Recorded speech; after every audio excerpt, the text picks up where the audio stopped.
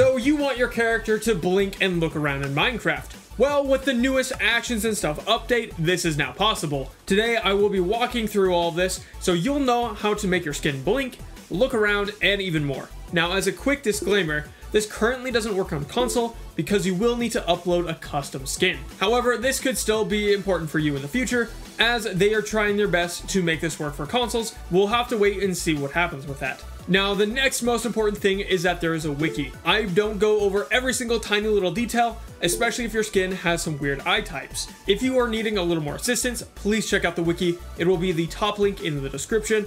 This should also help you if you're having lots of questions or concerns. You can go there first. And if you're still having bugs or issues, feel free to reach out on the Oreville Studios Discord or down in the comments as well. So without further ado, let's get your skin working in Actions and Stuff 1.5. Now we can hop over to the Actions and Stuff content guide. That will be very helpful. As we scroll down, we will be able to see expressions. Now click on this, and as it opens, you'll be able to see a brief overview. This is kind of what it looks like. So once you get your skin set up, you'll be able to blink, look in one direction, and things like that. If you want just actions and stuff skins, just download this right here.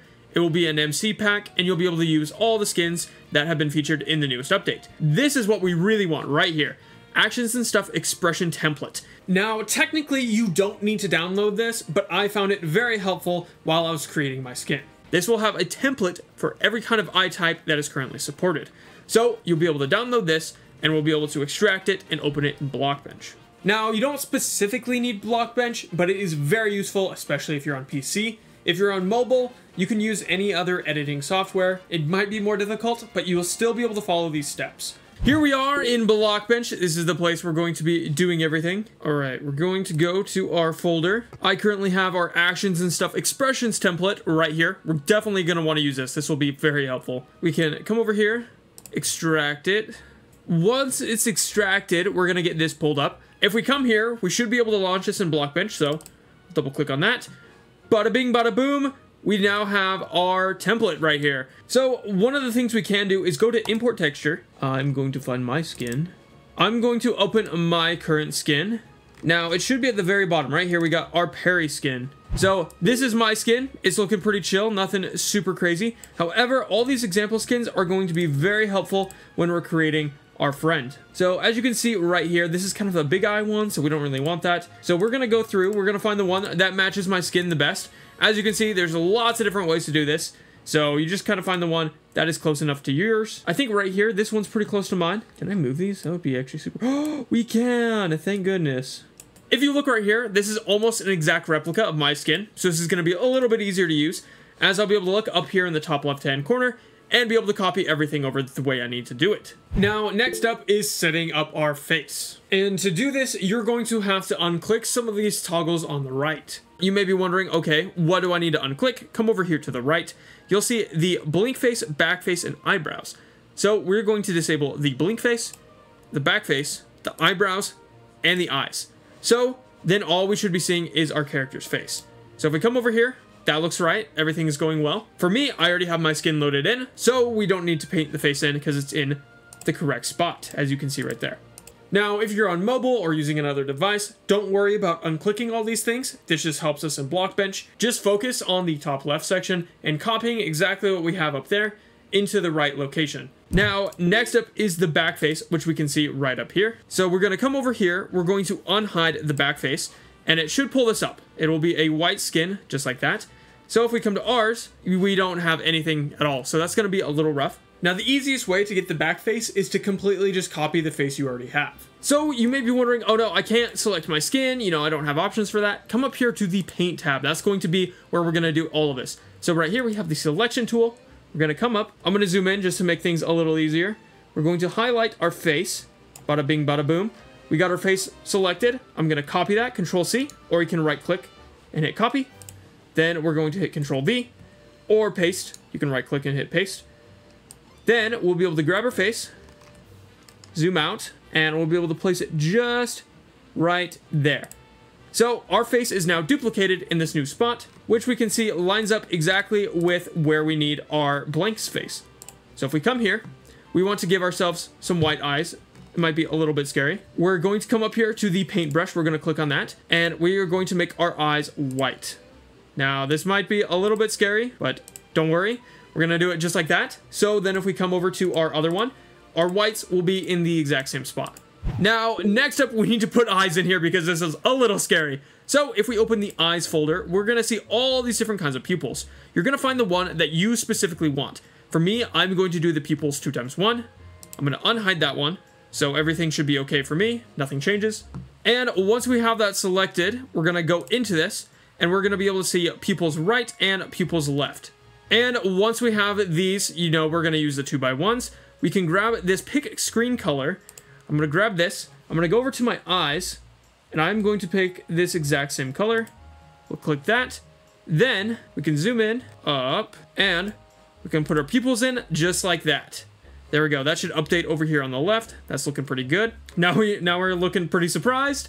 I think that'll be working. Now, for the eyes reference, this is kind of important. So if you're using the 3x2 eyes, you may need to hide individual cubes or draw onto the UV window on the left instead of the skin directly. So you'll be able to know exactly where to place all these. I know it's a lot of colors, but this should help. Now, next step is our eyebrows. As you can see, my character doesn't really have eyebrows. I mean, technically, I probably could put eyebrows under there, which I might end up doing just for the tutorial. It might look weird, but we might be doing that. So these are the different ways that you can get the different eye types right over here, the monobrow, the 2x1s, and the 3x1s. So we can come over here to the right hand side. We can minimize this. We're not going to have to worry about this anymore. And just to make sure you did it right, you can unclick the eyes and you'll see them pop on and pop off just like that. So we can close this folder for now. And next up, we can do the eyebrows. So we can unclick that folder and get ready on the eyebrows. In the eyebrows section, we're to open this up and we are going to get rid of the ones that we don't need. We can close that folder. We'll close that one just so we can see these three. I need the 2 by one eyebrows, so I'm going to hide both of those. So we should only have this one selected. And if you select that, you should be able to see where the eyebrow should be located. And the outline right here will show where you can put your eyebrows. So let's put eyebrows on our character. We're gonna come over here, pick a screen color. Uh, I'm just going to find a brown. Sure, we'll, we'll go with that. Then we're just going to put eyebrows right there. I know it looks really weird. It kind of looks a little cursed, but don't worry about it. I promise it could be, it might be okay. You'll be able to see them. And finally, we are going to do the blink face, which is going to be a little more difficult. We're going to dump everything back, and we want to hide our eyes. So that should be hidden. We're going to hide our eyebrows. You can double click it just to make sure they're all off. And we're going to hide the blink face. So we should only have back face enabled. So we're going to do exactly what we did before. We're going to come up here to our selection tool. We're going to get a copy of our face. If you already have the copy, you can just copy and paste, which I should probably do. There we go, we got our face. And you're going to place it up in this top left-hand corner. Just like that. So we're going to come over here. We're going to pick paintbrush. We're going to get a, you know, a decently dark color. Let's pick that one. We're going to come over here. We're going to dye it kind of dark. So we're chilling on that. And for this skin, I feel like that would be pretty much it because, you know, I have this hidden right over here. But if you want to see the little actions and stuff video, this is what you do if you had some bigger eyes. The tip they have is making the blink darker than your character's skin tone will help to make it look like a blink. You can also use the blink face to animate eyelashes and eyebrows. So this is my character. He's looking, you know, not too hot right now. I'm going to be completely honest. However, if you want to test this, all you have to do is come over here to the animate tab on the top right. Let's click that. And we're going to do blink left eye. We got that. Blink right eye. Eyes look right. Oh no. We did something wrong. Let's unhide eyebrows and unhide eyes. There we go. That'll make it a little bit better. Let's come over to animate now. Now we should be able to see blink left, blink right, eyes look right, eyes look left, eyebrow surprise face. So there you go. You now have a character that should be working mostly properly. Now, my skin is definitely not the best one to do this because the eyebrows are, you know, a little bit cursed, but that's okay. That's okay. We can just watch him, you know, just disappear. His eyebrows aren't even the same color. That's gonna bug me. Hold on, let me fix that. Gosh darn it. Those aren't the same. Why aren't those the same color?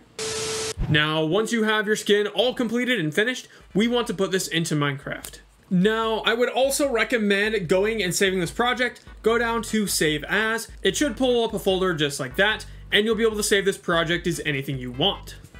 Now, once your skin is completed, you want to save this as a PNG, so you'll be able to open this in Minecraft. So once you're in here and you go to file, don't click on this save model. We're going to want to come down here. We're going to scroll down.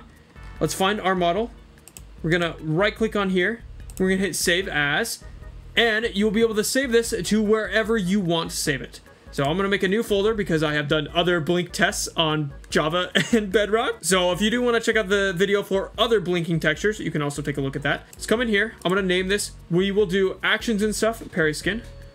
We'll hit save. Now, all you gotta do is open Minecraft. Now, let's hop into our fantasy world. We're going to go to resource packs, make sure actions and stuff is on. That's kind of important.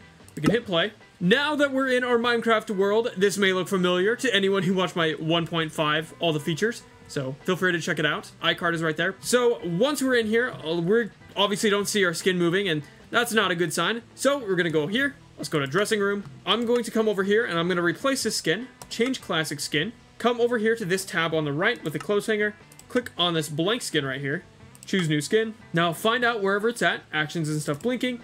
This is mine right here. Let's open it up. And I'm gonna choose this one right over here. Now you can see our character blinking. Okay, so if we hop back in, we should be able to see our character. They will, the eyes will move just a little bit and they'll occasionally blink. If we grab a bow, we'll see one eye close, my horrendous eyebrow, so that's pretty cool. But if we jump up and down, we'll be able to see the eyes move just a little bit, kind of like that surprise look. And if we fall, we'll kind of be able to see that as well. We're gonna fall down, woohoo, surprised. And you'll also be able to see your eyes move a little bit during the animations. There we go, looking left and right, but it actually moves. That is super cool. And we'll be able to see a few more of these as we look around. Obviously, turning around isn't, isn't the best thing, but it's just so cool. It adds a little bit more life into the game. This is definitely more of an advanced tutorial, and it might take a couple tries to figure it out. One last thing, it is not available on console edition right now, but they're hoping to get this to work in the future. If you do have any questions or concerns, please go check out the wiki. It has a lot more information that should be able to help you. And if you run into any bugs or major issues, please reach out to Oreville Studios on their Discord channel. And finally, comment down below what your experience has been like or if you've run into bugs. Maybe other people will be able to help you as well. And if you enjoyed this tutorial, feel free to check out some other actions and stuff content. Thanks for watching. Bye.